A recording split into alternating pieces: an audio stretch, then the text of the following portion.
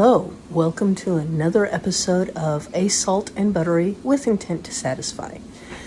This today's recipe is a chicken tortilla casserole.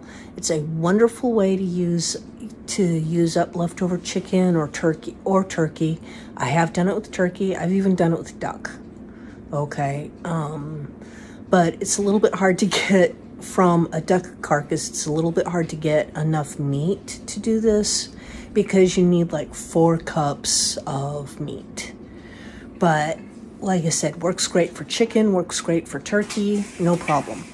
Anyway, the first thing we do is you want some kind of casserole pan or, or a pot that you can put a big pot that you can put a lid on. Okay. And the first thing we're going to do is we're going to take some tortillas. Now, I like to do this with flour tortillas.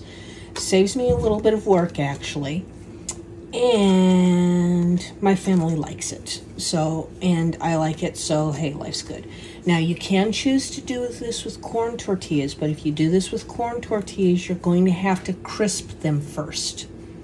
So, if you're going to do that, you can actually get away with using some already crisped up um, tortilla chips, okay, or tortilla strips. Now, I put layer of the um, tortilla tortilla strips in the pot first because that helps keep the bottom from getting soupy. Then I take some, I actually use uh, plain yogurt or a combination of sour cream and whipping cream, which I'll have, uh, in the instructions, I'll have all of that and I mix that together along with some of my favorite salsa. And you can use however, whatever spiciness level of salsa that you like. This is one of the areas where you can definitely change it, okay? If you like a really spicy salsa, then go ahead and do that. If you like a really mild salsa, then do that. So, now I have four cups of chopped up or shredded chicken, okay? Now what I'm going to do is I've mixed the sour cream and the whipping cream or the or just the yogurt and the salsa together, okay? And then I'm going to do half of this into here.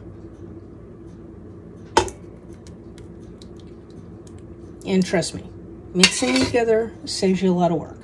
Do some spreading around because you want it there. Okay. Then we're going to take half of the chicken and we only used a little bit of the tortilla strips. Okay. But use half of the chicken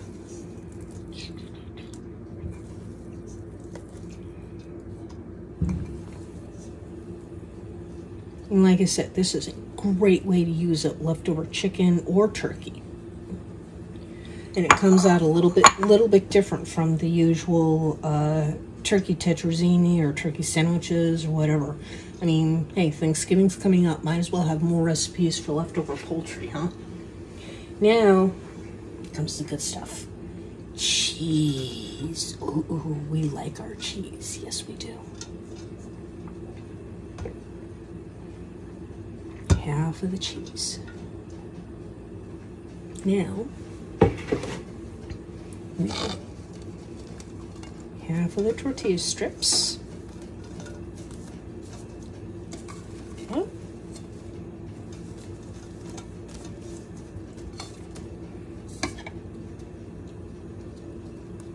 The salsa mix,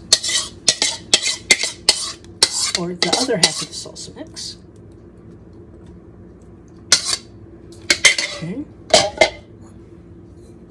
The rest of the chicken. Think of it as like layering for a lasagna. Okay, you, except for this, you want some nice thick layers. Okay. Then we're going to switch things up a little bit. We're going to top this with the rest of the tortilla strips.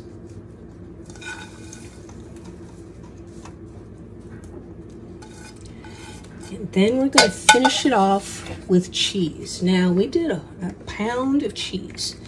And this is another part where you can alter it.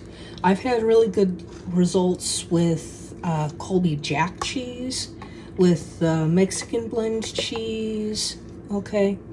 But cheese is always good. We like our cheese. We're Americans. We like our cheese a lot, okay? So, there we go. And that is how easy this is to assemble. Then what we'll do is we'll put the lid on it and we'll put it in a 350 degree oven for about 40 minutes. Okay. At that point, everything should be nice and hot and bubbly. We'll pop off the lid, take a look at it, and maybe give it 10 more minutes for browning. So let's go ahead and get the lid on here and get ready and get it in the oven. Yeah.